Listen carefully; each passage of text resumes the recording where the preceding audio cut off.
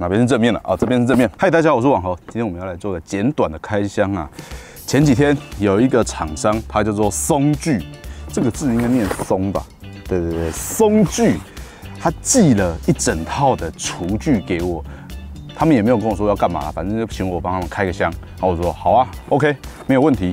好，所以他们就寄来了，直接开箱了。废话太多了啊，我有上。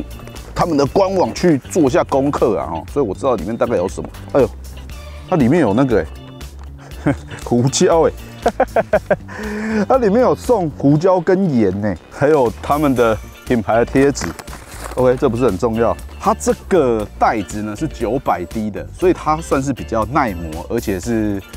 抗拉扯会比较好一点，它用的是一个双 D 扣的一个设计。好，打开就长这个样子。然后它旁边还有一些空的，可以让你在自己选择要放什么东西。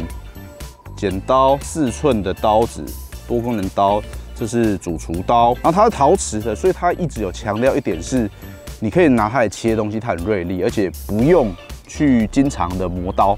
但是呢，不能拿它来剁东西哦。再来是这个是面勺，这个是汤勺啊。这个木头的材质呢，他们说是竹子，所以当你今天洗完的时候，要把它们彻底的晾干。然后再来是锅铲，然后那个夹子，十二寸的夹子。这边呢是餐具，哎，这个他们的那个木头的质感真的是很不赖，我自己觉得质感蛮好的。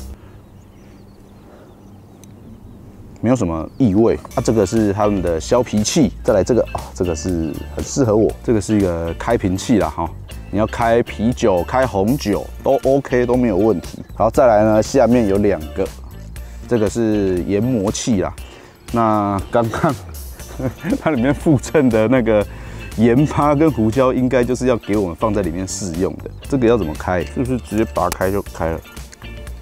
哦，它是双面的，我现在才发现。它这边可以放一个，这边可以放一个啊，这两个应该是一样的哇。那我先试试看。既然它都给我了粗盐跟胡椒粒了，这时候呢，剪刀就派上用场。哦，这个剪刀好利哦，哦，这剪刀好利哦。胡椒很贵，先把它盖起来。哦，有有有有这样子。哦，胖胖公公公公胖啊！我必须说啊，它有点紧，可能是我刚开始用吧，但是反正它就是有点紧。然后它这是两边的，这边有一个置放的空间，下面也有个置放的空间，我觉得还蛮不错的。两罐的话，你这样子就有四个空间可以使用了，大致上就是这样子啦。然后它的砧板呢，它也是说是是大的，哇，这好大，有点难拔。哎呦，这是大的，这个呢，据说它也是竹子。反正它是木头的，我觉得木头类的东西，就是当你今天用完，我们一定会洗，或者是拿水之类的擦嘛，对不对？所以呢，今天用完它，把它保持干燥。但是说到这一点哦，它吊起来会长这样子。我把这个砧板拿起来，砧板另外放哦，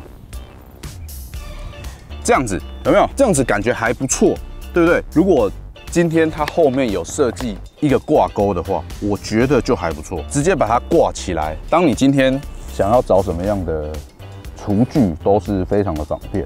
但是它后面这个布啊，并没有做这样子的设计，我自己觉得有点小可惜，就是变成是你一定要找个地方把它摊开放着。那如果今天你是可以把它吊起来，那你的桌面呢就少了一个空间这样子。大家如果买这个十四件专用的工具包的话，反正我刚开箱的东西都有在里面。我记得它的售价没有到非常非常贵，好像一两千块吧。我自己不太提售价啦，就是他们可能会有做一些促销活动啊，大家自己上他们的官网啊或者是虾皮去看是最准的。好了，那这就是我这次简短的开箱。如果喜欢我的影片，欢迎帮我按个赞、订阅还有分享。如果有什么问题或想跟我聊聊天的，欢迎在下面留言哦。网购去哪里？我们下次见，拜拜。